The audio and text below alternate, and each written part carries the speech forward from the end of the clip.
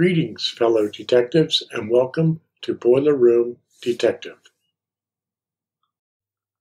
The case of the short cycling boilers. The boilers you sold us aren't working, Frank said angrily into the phone. Frank installed three of my modular boilers on the job site, and he fought me the entire time.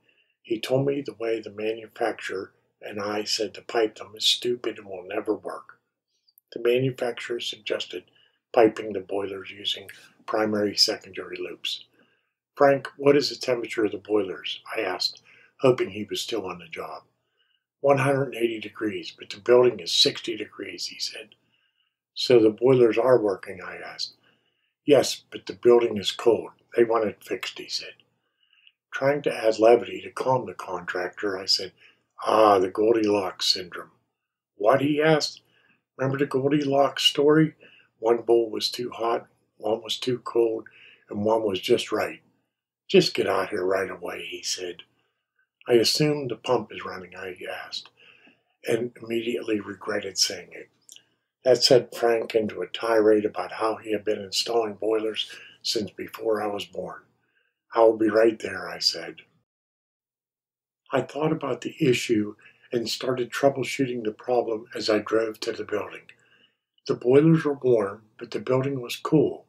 When I got there, I was sure a valve was closed or the system was airbound. Both theories were wrong. After tracing the piping and finding no closed valves, I went to the far radiators and bled them. No air, only water, meaning they were not airbound.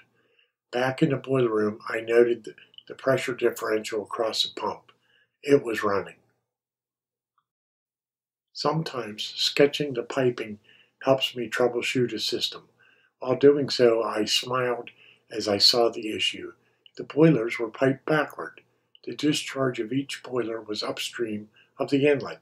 The boiler will pull the heated water from the main system loop and cycle off on the operating temperature control after only a few minutes.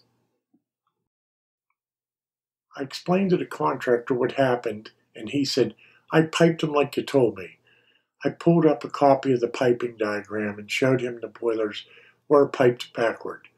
He looked it over and said, This better work? It will, I assured him. The contractor decided to only repipe one boiler to see if it worked, and it did. What is that called again? he asked. It's called primary secondary. It allows the idle boiler to be isolated for better efficiency, I explained. I like piping the boilers the old way. He said he repiped the other two boilers and the building heated all winter long with no issues. The lesson I learned that day was not to try troubleshooting a system in my head on the way to a job site.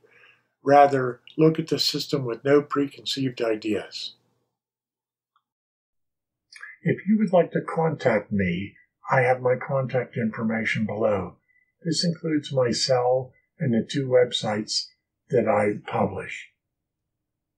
This is all the books I've written so far. I have 11 books on boilers, and they are available on Amazon.com. I write articles for several trade publications, and they are online as well. Thanks for stopping by Boiler Room Detective and I hope to see you on the next case.